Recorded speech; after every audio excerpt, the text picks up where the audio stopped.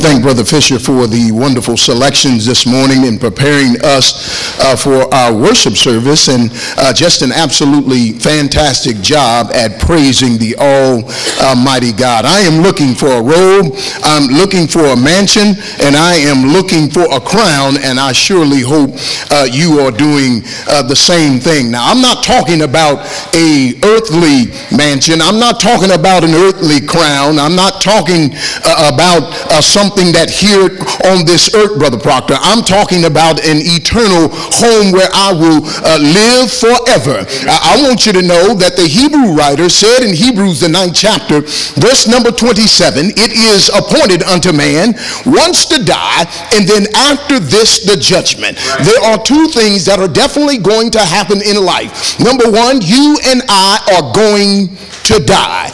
And number two, you and I are going to be judged by the things that we've done on this time side of life. I am traveling on this journey from earth to heaven, and I am trying to get my mansion, my robe, and my crown. And it ain't down here on this earth. I want you to know that everything that you have right now is going to burn up.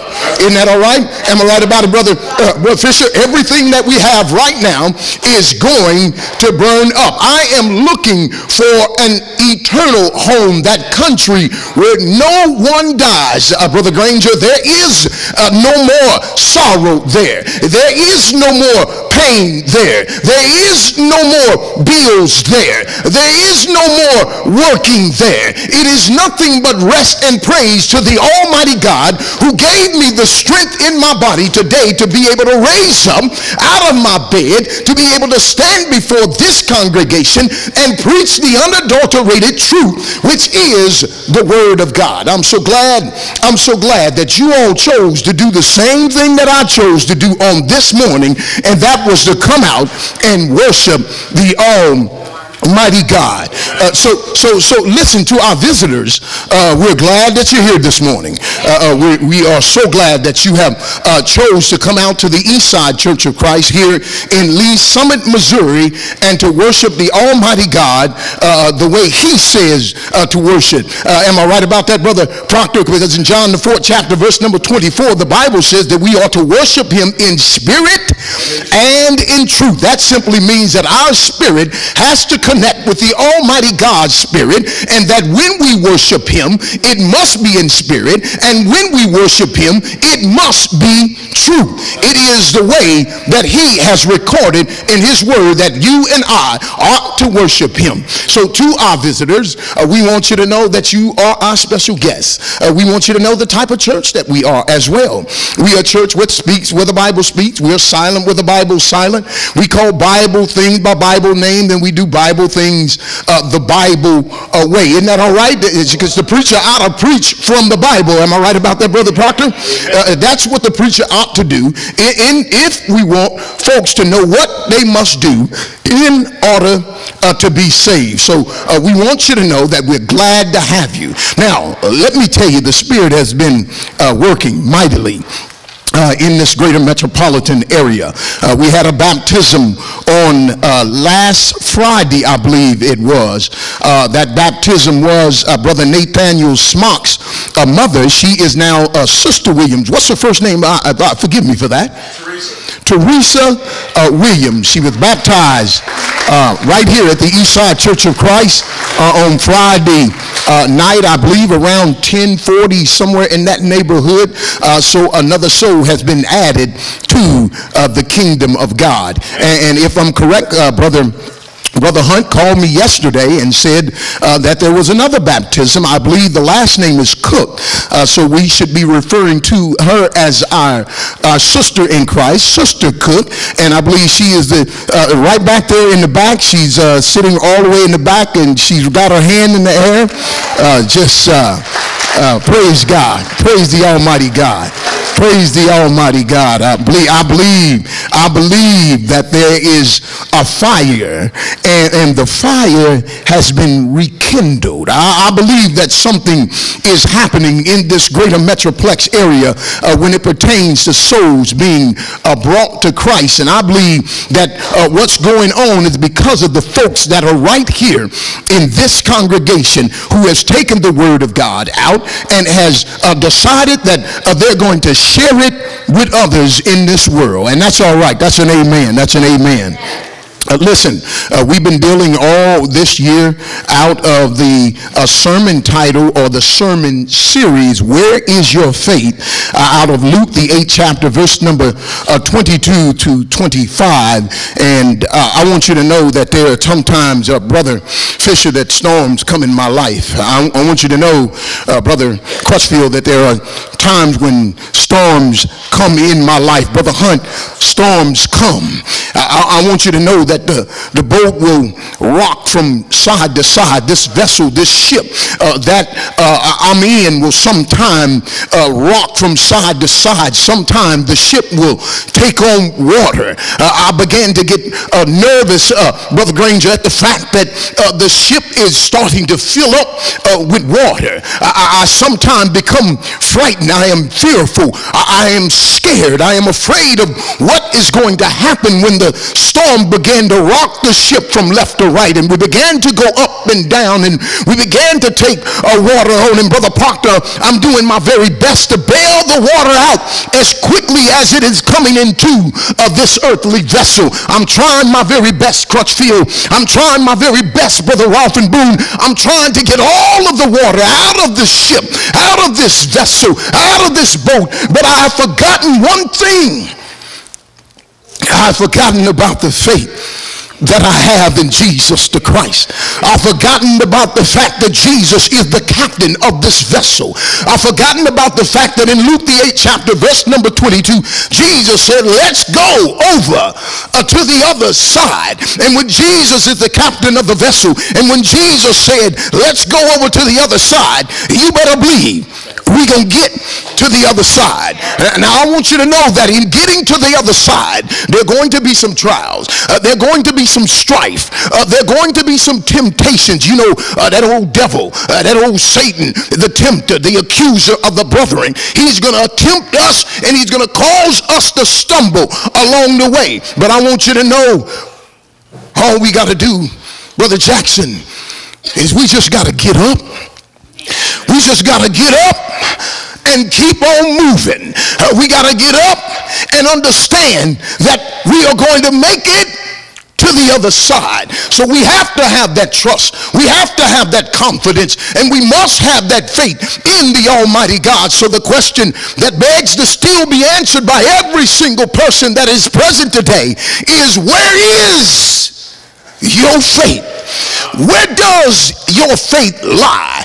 Who does your faith lie in? Church, we got to understand that in this vessel, we got the captain of the ship and his name is Jesus the Christ. And I'm so glad, I'm so glad that I'm in the ship that I know is going to take me on, on up to glory. Am I right about it, Brother Fisher? I'm so glad that I'm in the ship, uh, the only ship, the only vessel, the only boat in the water that I know is going to take me on up to glory.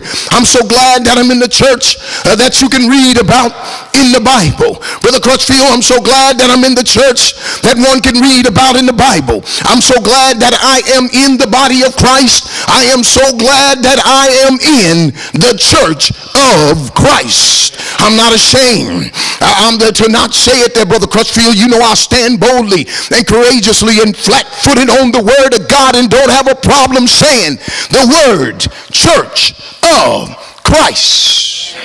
So we've been dealing with this subject matter all this year and we'll continue to deal with it the rest of this year. And I, I want us to understand that somewhere along the line, somewhere along our journey, we have to answer this question. Uh, listen to me. Listen to me. I need everybody's undivided uh, attention this morning that I need for you to know that you've got to answer this question. Where is your faith? before 2017 is up.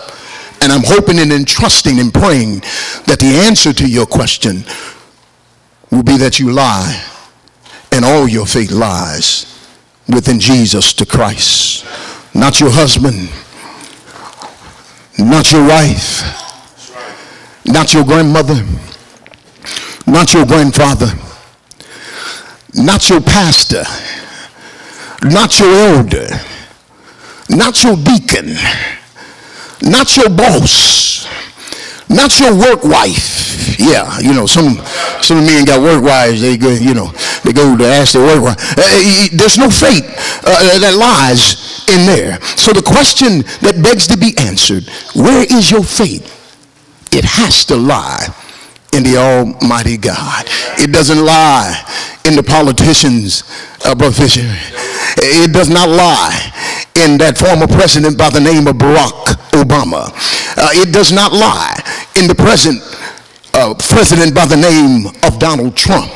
It, it does not lie in the city council. It does not lie in the state representatives. It does not lie in the Senate, in the Senate and, and what they vote on or what they disagree to vote on. Our faith ought to lie in the Almighty God. So, as we continue on on this Mother's Day, isn't it wonderful? Uh, I got to say happy Mother's Day to all of the mothers that are present on this day, all of the grandmothers. And before we leave this evening, I want you all up here, every single mother, every single grandmother, whether you be married or single, so we can get a picture of you. Uh, we want to put this on our Facebook uh, page. We want to put it on our, our website. Uh, we've got a lot of activity that has happened over the past month. And man, every time I jump onto the Facebook page or every time I jump onto the Eastside uh, website, I see something new, something different uh, something exciting. Baptisms uh, are taking place, revivals are taking place, studies are taking place. Brother Crutchfield uh, spent many hours with a gentleman uh, uh, from a different denomination, and he uh, was just showing him what the Word of God speaks and nothing else. So lots of things are going on with this congregation and I, I, I, feel that there has been a renewing. I, I, feel that there is a rejuvenation that has taken place uh, at this congregation. And I'm so happy and I'm so pleased to serve all of you who are present uh, on this day and those that are members uh, of this Eastside uh, Church of Christ. So um, uh, we want to get a picture of all the mothers. So you know just look around. None of us would be here if it wasn't for the fact that they were the mother. Is that all right yeah, but Jackson, you wouldn't be here if it wasn't for your mother. You got to remember that. Yeah, that's right. But Proctor, uh, you, you, wouldn't be here if it wasn't for your mama. Nobody would be here if it wasn't for my mama, if it wasn't for our mamas. So uh, we ought to praise them, we ought to uplift them, we ought to honor them every single day. And I'm here to tell you, uh, there's a big gigantic card back there in the back that says Happy Mother's Day. That is from the Wallace family. It's, it's to every single mother, grandmother that's present here, uh, whether you be a member of the Church of Christ or whether you are visiting uh, with us. We want you to sign that card too uh, when you get a chance. So after we take this beautiful picture of all these wonderful mothers here, uh, we want you to sign uh, that card as uh, well. So let's get into this morning's lesson. Uh, let's turn our Bibles to 2 Timothy, the first chapter. And I want to thank Brother Hoover for reading this text into your hearing this morning. 1 Timothy, the first chapter verse number 1 through 6. Verse number 1 through 6.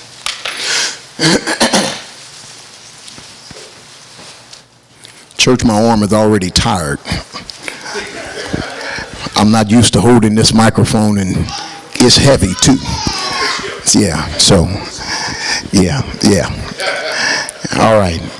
So first or second Timothy, the first chapter, verse number one through six, the Bible read, it reads, Paul, an apostle of Jesus Christ by the will of God, according to the promise of life which is in Christ Jesus. I'm, going to stop for just a second. Uh, I need one of the brothers, if you will, to, uh, we have some guests that are sitting right back here in the back, and if someone could uh, please assist in showing them where they can peruse through the Word of God and get that uh, chapter, that verse, the verses that we are trying to read. I, I, want them to be able to follow along with us as well. It's uh, 2 Timothy, the first chapter, verse number 1 through 6, and Brother Smarks is going to get that for them. And we'll begin uh, reading that again.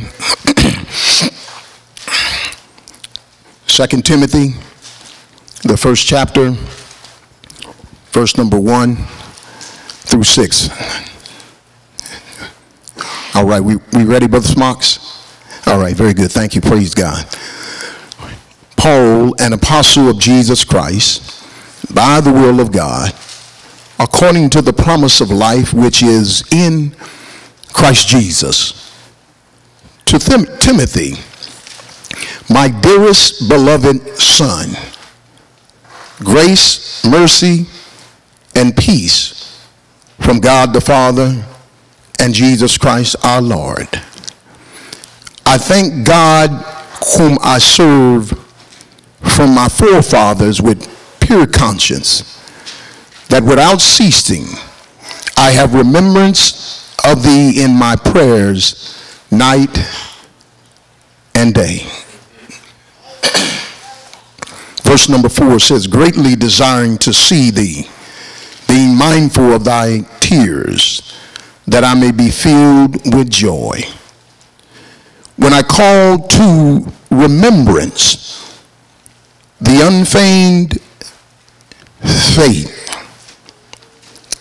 that is in thee, which dwelt first in thy grandmother Lois and thy mother Eunice. And I am persuaded that in thee also. Wherefore I put thee in remembrance that thou stir up the gift of God which is in thee by the putting on of my hand. Church, the tag for this morning's lesson under the series titled, Where is Your Faith? The tag is A Mother's Hope. a mother's hope.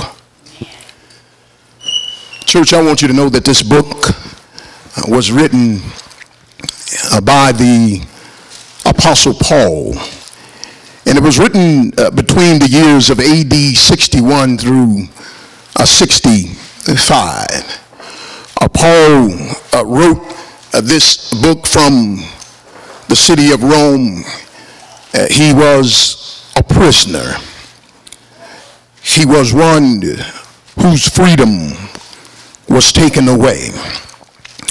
I want you to know that when Paul wrote this book, he wrote it to a young evangelist uh, by the name of Timotheus.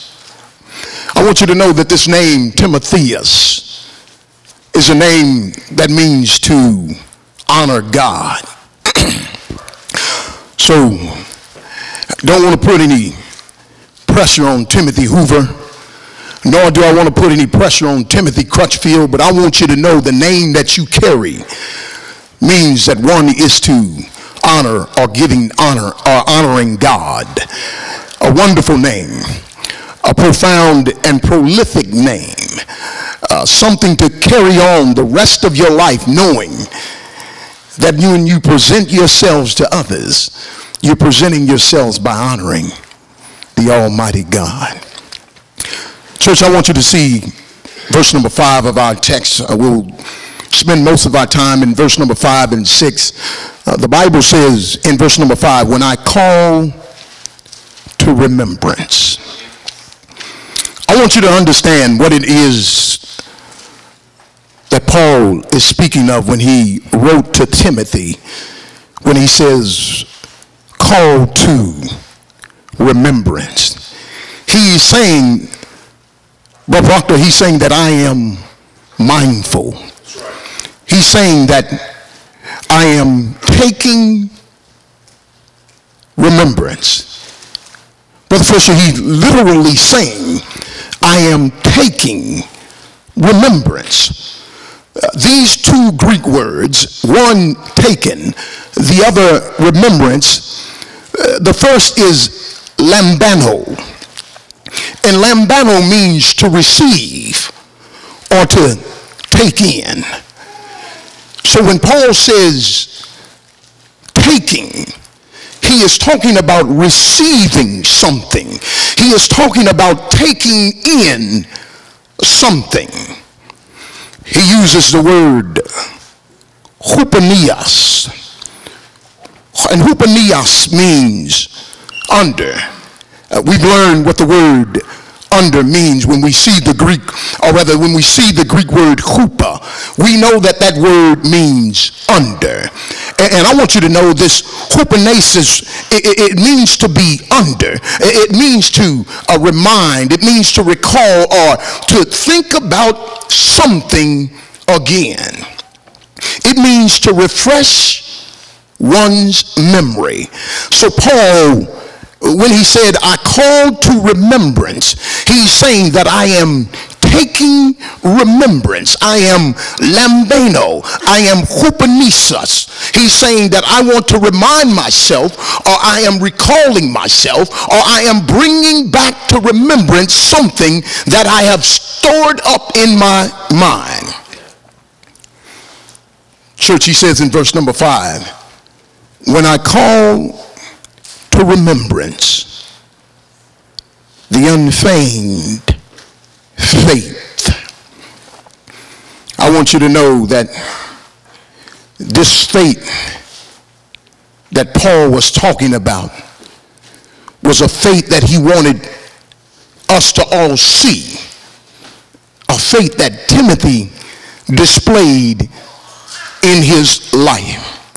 Church, I want you to understand that when he says, I want you to remember, he says, when I call to remember the unfeigned faith that is in thee, which dwelt first in thy grandmother Lois and mother Eunice, I am persuaded that it is in thee also. Verse number six says, Wherefore I put thee in remembrance that thou stir up the gift of God which is in thee by putting by the putting on of my hands. Church, I want you to know that Paul uses this word to stir up. Professor, if you get for me uh, 2 Peter, the first chapter, verse number 13, and I want you to get uh, 2 Peter the third chapter, verse number one and two. And we're going to uh, we're going to look at this word, uh, stir up. I want us to understand exactly what uh, Paul, when he wrote to this young evangelist by the name of Timothy, uh, what he needed to remember. And the purpose of remembering was to stir up the children of God. Uh, you'll be reminded that Peter said the very same words in Second Peter, the first chapter, verse number 13. Read, Brother Fisher. Yea, I think it meet. He said, Yea, I think it meek as long as, as I am in this tabernacle. As I am in this tabernacle. Read, to stir you up by putting. Stir you up by putting. You in remembrance. By putting you in remembrance. Read.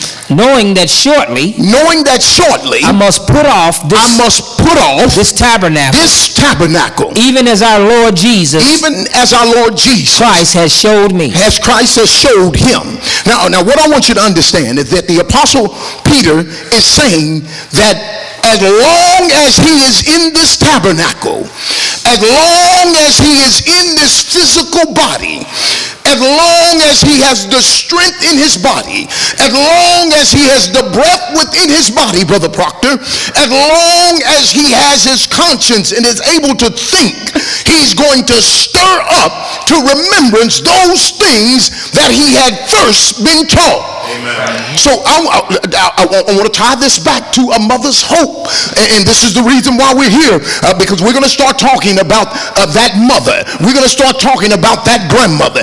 Because I want you to know that sometimes men are absent in the lives of their sons and their daughters. I want you to know that sometimes men do not do the things that they ought to do. And, and, and they are absent even in the present, even in the proximity, even in their own homes men are absent and do not teach their sons, do not teach their daughters those things that are most important. And the reason why I want you to see that Timothy and Peter were both told to remember those things, to stir up those. I, want you to know what this word uh, stir up means. This word stir up means to revive. Uh, yeah, that's right. It means to revive. Uh, this word uh, stir up means to rejuvenate. It means to re-energize. I'm going to tell you this, and I'll be honest as I can be. Sometimes as a preacher, sometimes I need to be stirred up, Brother Jackson. Somebody needs to stir me up. Somebody needs to renew me. Somebody needs to re-energize me. Somebody need to rejuvenate me, refocus me, put some emphasis on some things that I have forgotten. I've forgotten. I want you to know that there are some men that have forgotten. Men that have forgotten who they are, what they are. Men who have forgotten the responsibility, and now we have to put everything on a mother's hope. Peter said, as long as he is in this physical body, he's going to stir up those of the body of Christ, those that had been scattered abroad for the purpose of sharing the word of God to others and also because of the great persecution that they went through. Some men need to be stirred up there needs to be a renewing in their hearts and their minds and their soul. There needs to be a rejuvenation. There needs to be a refocus on what is most important.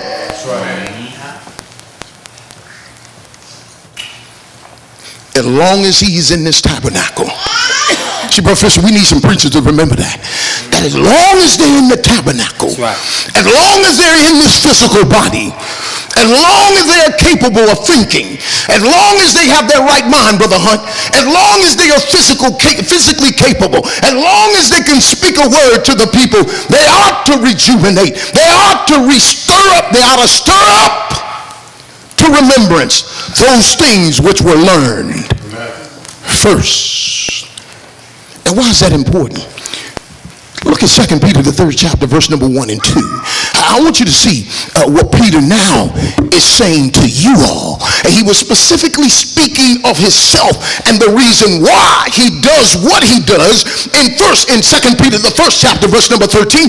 But listen, read. This second epistle. He said this second epistle. Beloved, I now Beloved, write unto you. I write now unto you. In both which I stir up. both which I do what? Stir up. Which I rejuvenate. Do what? Stir up. Which I re-emphasize. Which I what? Stir up. Renew. Which I stir up. Read. Your pure mind. Your pure mind. By way of remembrance. By way of remembrance. Read that ye may be mindful of the that word. You may be mindful of the word. We need some men to be mindful of the Word of God. You need to remember what you learned first about the Almighty God. Amen. Read which was spoken before. Which was spoken before. So, so, it's not like you ain't never heard it before. Yeah.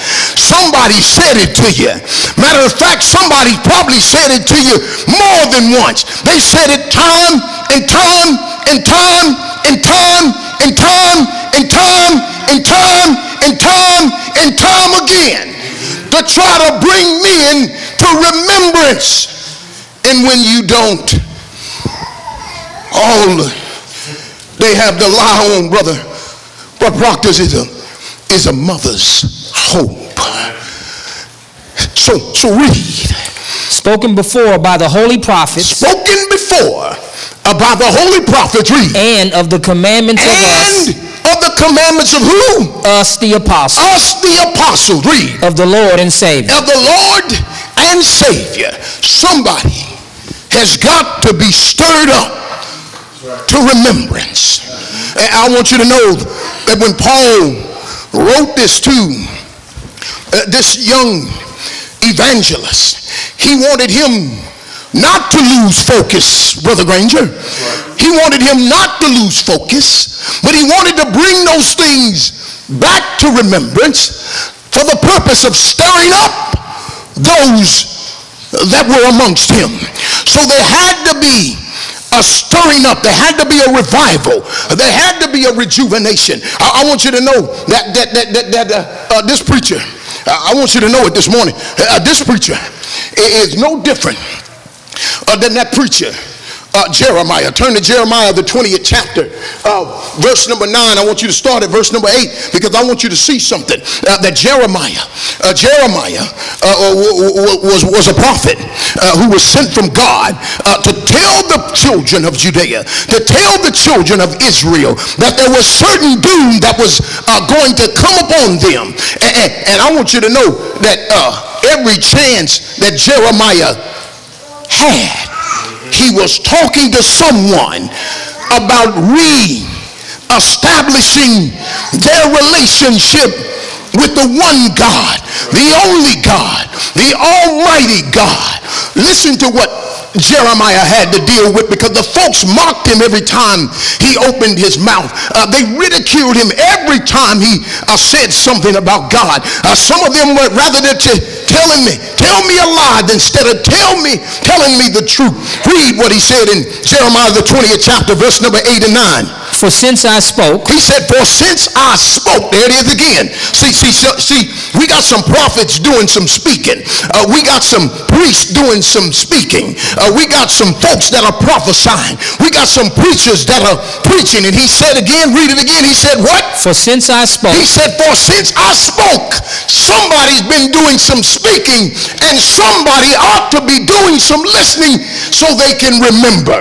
Read. I cried out. He said, I cried out. I cried you, violence and he, spoil. He said, I cried violence and spoil. It's coming, read. Because the word of the Lord. Because the word of the Lord was made a reproach. Was made a reproach to me, read. And a derision daily. And a derision daily, read. Then I said. See, then I said. I will not make mention now, of hold on. That derision, it means that he was being mocked. He was being ridiculed. The folks were laughing at him. Every day. They were joking at him. In our day and time, they would be looking at Jesus freak. All he wants to talk about is Jesus. Mm-hmm. He don't want to go to the clubs with us. He don't want to go out drinking with us. Mm-hmm. He don't want to go out creating ruckus and rampus. Look at him. So he was being ridiculed. He was being mocked. He was being told that he was nothing and forget about the word of God. That that remind, hey, listen, church, does that remind you of any day and time that me, me and you are living in? Uh, do, do you get that, Brother Jackson? Do folks ridicule you because you speak in the name of Jesus the Christ? Brother Crutchfield, are you ridiculed? Are you mocked just simply because you tell people about the greatness of Jesus the Christ, his death, burial, and his resurrection in the church that he established that brings salvation? Are you ridiculed, Brother, Brother Fisher? Listen to what Jeremiah said, read. Nor speak any more in his name. He said, I ain't speaking no more in God's name. I'm tired of being ridiculed. I'm tired of being mocked. I'm tired of being put down. I'm tired of being laughed at. I'm tired of being told I don't know what I'm talking about. I'm tired of hearing people tell me how stupid, how dumb I am, how senseless it means to speak in the name of God. He said, I'm tired of it, but read. But his word, but his word was in my heart. He said, but his word. He said his word was in my heart. He said his word was shut up in my heart. Read. As a burning fire. As a burning fire. Shut up in my bones. Shut up in my bones. And I was weary. He said, and when I was weary. With forbearing. With forbearing. And I could not he say. Said, I could not hold it. I had to speak yeah. in this man's name. Yeah, yeah. Yes, yes. That's what that word stirring up means. You can't hold it right in. It becomes a burning desire within your bones. And you just want to tell somebody how good God has been to you. That's right. You want to tell somebody about his greatness. You want to tell somebody about that sickness that you went through, that you prayed to the God and he healed your body. You want to tell somebody about that struggle that you had, that drug addiction that you had, that alcoholism that you had, that addiction with uh, uh, pornography that you had. You want to tell somebody about how great he's been to you. You want to tell somebody how he made a marriage that was doomed, a marriage that was on the brink of collapsing and falling to the pieces, but that marriage has now been joined together and tightened. And you can go back to Genesis, the second chapter, verse number 23 and 24, and you can live uh, what Moses said when he said, Husband, leave your father and your mother and cleave to your wife. That which was two now becomes one. Isn't that wonderful? You go tell somebody about it. That fire is in your bone. But we're talking this morning. We're talking this morning about a mother's a mother's hope.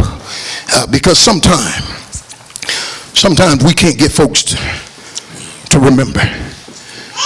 Sometime, brother, brother Granger, brother Keith Granger, sometime uh, we can't get them to remember.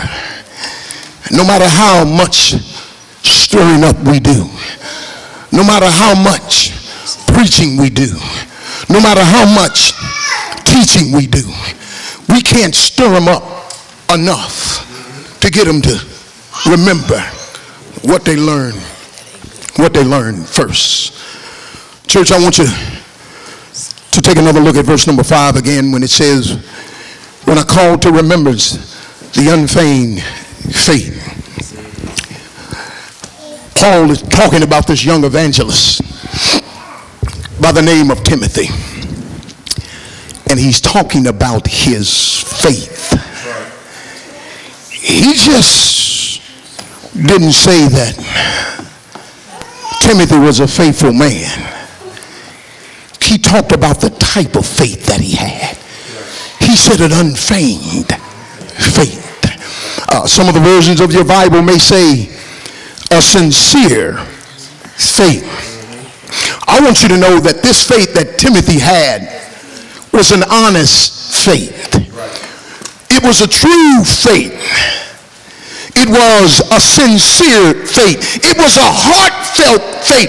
But Proctor, I want you to know that Paul said the type of faith that Timothy had was a real faith. He had a real faith. That's the type of faith that Paul had. Uh, this word, or rather Timothy had, uh, this word unfeigned comes from the Greek word anapokriatos. Anapokriatos. And this word anapokriatos, if uh, you look at it in its Greek form, in its grammatical form, a is a negative prefix meaning without, listen to this, without hupokriniomaya. Without hupokriniomaya. Hupa, as we've learned, means under. It indicates secrecy. It indicates secrecy. And krino means to judge. So anapokriatos, it describes that which is, listen to this, unhypocritical. That's right. Yeah, yeah, you hear that, Brother Crutchfield? Unhypocritical. Uh, it's genuine. It, it, it's real. He is or she is not a hypocrite. Uh, I, I, want you to understand this. Uh, there's a word uh, that's called a, dissim, a dissimilar, and, and that is a synonym of the word hypocrite. I, I, want you to know, I, I, want you to understand how that word played out. Uh, see, in in in Roman and Greek um, uh, theater, uh, these actors, uh, they would take these oversized masks. They were extremely large masks to identify, give for me Matthew the 23rd chapter, verse number 27 and 28, uh, uh, uh, to identify the character uh, that they were playing. Uh, note I said character that they were playing. Uh, I, I, want you to know that there are some folks who are in the church who are not genuine. I, I want you to know there are some folks in the church who are not true. I, I want you to know that there are some folks in the faith, in the church who are not real. Uh, they are fake. I, I, want you to know that uh, that's where we get the term, uh, uh well, you know, he just or she's just wearing a mask. Uh, that's an indication of that person is pretend, uh, pretending to be something that he or she is not. Amen. hypocrisy in the church is a disease that eats at the church and causes the church to be stagnant, causes the church to be weak, causes the church to fall when there are folks who are hypocritical in the church. They wear the mask. Uh, you know, in drama, in our day and time when you see those two masks, one smiling and the other was sad, uh, it's called comedy and tragedy. And I want you to know that hypocrites in the church, those who are hypocritical, it is no comedy involved in it, and it is indeed a tragedy. Now, why is this important when we're talking about a mother's hope? because we're talking about the faith of Timothy, an unfeigned faith, a sincere faith, an honest faith, a true faith. It was a real faith. That's what it was. But listen to what Jesus said about the scribes and the Pharisees. Uh, see, we got some scribes and some Pharisees today. Uh, uh Brother Keith, I've been saying Brother Granger, but it's Brother uh, Granger Keith. Brother Keith, uh, listen, there are some, there's some scribes and Pharisees that exist in the church today. Yeah, we got modern day scribes modern day Pharisees. Listen to what Jesus said. Read. Woe unto you. He said, Woe unto you. Scribes and Pharisees. You scribes and Pharisees. Hypocrites. You hypocrites. Yeah, yeah. Now, now we just determined what a hypocrite is. It's a person that wears a mask. And the purpose of wearing the mask is to deceive. But I want you to know this morning, I'll stand on this day to let you know that when that mask comes off, you are the very same person that you were. You may be able to portray that person with that mask on good. You may be excellent. Matter of fact, Brother Hunt, some of us might be able to win an Academy Award for the acting role that we have played. But I want you to know again that that is a tragedy in the church and it stagnates uh, the growth and the development of the church. Read on what Jesus said about these scribes and Pharisees, you hypocrites. Read. For you are like whited sepulchres. He said you are like whited sepulchres. Read. Which indeed appear beautiful They outward, appear beautiful on the outside. But are within full. But within full of, of dead men's of bones. Dead men's bones dead men's bones. It looks good on the outside. Mm. But I want you to know it's nothing but dead men's bones. Read. And of all uncleanness. And all uncleanness. See, church, that's what a hypocrite is. So, so, so, so why is this important to us on this Mother's Day? At this Mother's Day where it's where a mother, where we have a mother's, a mother's hope. Why is this important? Church is important because Timothy's faith was genuine. It was an honest, it was a true faith. But where did Timothy, where did Timothy get that type of faith from? I, I, oh, turn over to Acts the 16th chapter, verse number one. I want you to see something. I, I want you to know something. And, and as Brother Fisher is turning there, I want to tell you a story. I want to tell you something, church.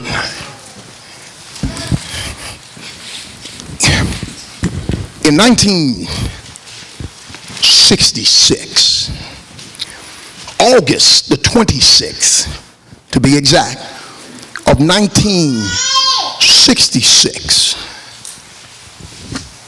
my sister, Sister Proctor, and Sister McDaniels, my younger sister, were on a train. And we were coming from Shreveport, Louisiana, being accompanied by our mother. So let me tell you this story. Five years old, seven years old, three years old, we come into Kansas City. I want you to know, church, that the family is in the body of Christ. My grandmother was in the body of Christ. My mother is in the body of Christ. My sister is in the body of Christ. Both of my sisters are in the body of Christ. I am in the body of Christ. But I want you to know, being as humble and as transparent as I can be, that when I came or when we came to the city, we didn't come with a father. We came with a mother's hope. That's right. See, I want you to know something about Timothy. And then I want you to try to put this together of what that did, what that has to do with me and uh, why I'm speaking about it. Because I want you to know on August the 26th, 1966, we rode into that Union Station on a train. Because my grandmother said she was leaving Shreveport, Louisiana. And my mother said, you're not going without us. So as honest and as transparent as I can be, my father is not in the body of Christ. So I'm trying to give you a parallel between me and that young evangelist by the name of Timotheus. Read Acts the 16th chapter, verse number 1. Then came he to Derbe and Lystra. He, he, said, Then came he to Derbe and Lystra. And behold, and behold, a certain disciple was there. A certain disciple was there. Named Timotheus. Named Timotheus, read. The son of a certain woman. The son of a certain woman. Which was a Jewess. She was a Jewess. Listen to this and believed and believed she was in the body of Christ. Mm-hmm. She heard, believed, repented, confessed, and she was baptized into the church that Jesus Christ saved. Read. But his father, but his father was a Greek. Was a Greek. He wasn't in the body of Christ. He was not in the kingdom of God. He was not amongst those who called on the name of Jesus. He was not in the church that you can read about in the Bible. So now, I hope that you can put it together. I hope that you can understand why there has to be a mother's a mother's hope because sometimes us men, we don't do what we supposed to do. That's right. And we've got to rely on a mother's hope. Go back to Second Timothy, the first chapter, and I want you to go back to verse number five. And I want you to learn something about this woman, Lois, and this woman, Eunice. And I want you to see how important it is. You single, you single mothers, I want you to see how important it is that you hang on to the almighty hand of God. And there's a mother's hope that all of us are praying for. Read what Timothy said to, or read what Paul said to Timothy again. Read. When I call to remembrance the He's, unfeigned faith, the unfeigned faith that is in thee, that is in thee. Now stop right there. It's in Timothy. Well, Hunt, you listen to it? It's in Timothy.